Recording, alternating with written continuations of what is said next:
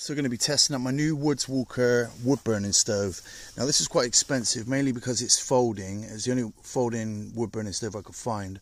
Obviously you don't want to be carrying around a massive big wood burning stove because it's so heavy. Um, but this one basically folds up into a 14 inch sort of laptop bag and it's got a roll out uh, chimney as well. It's made of titanium and it folds up so I'm going to be testing it out soon. Basically this is it when it's uh, put together. It's got a nice little door um, you can open. There's a nice little space for wood in there. Um, it all, it's all put together with these little catches on the side. Um, and then that's the top. Obviously that sits on the top. Like that. And then basically you, you roll out the, the sheet. Um, uh, roll it up into a chimney. Um, and obviously that goes on top of there. So yeah it looks it looks pretty good. So I'm going to give it a go in a minute.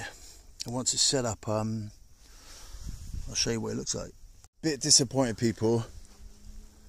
I've put the chimney up but it's a bit bent and it's a bit creased as well. But apparently it says in the instructions that on your first go before real camping please make sure you do 30 minutes at home first because it needs to warp into place. So I'm not sure if it's going to be dangerous sleeping in the tent with that tonight if it hasn't warped and set into place properly. But basically, this is what it should be. Um, you've got your chimney outside the tent, um, and then you've got the wood burner stove in the tent, which keeps you nice and snug and nice and warm.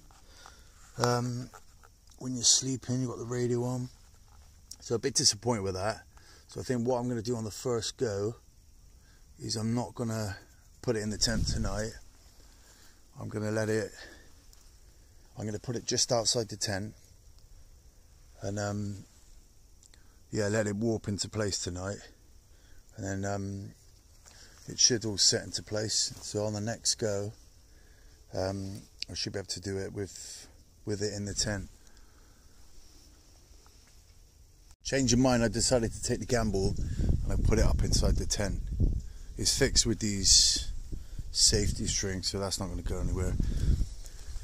But yeah, it's um, seems to be getting going now. But there is a lot of smoke, and even when you shut the door, there's still quite a bit of smoke coming out of the the sides and that. But I guess when it warps, it'll probably sort itself out again. But we'll see.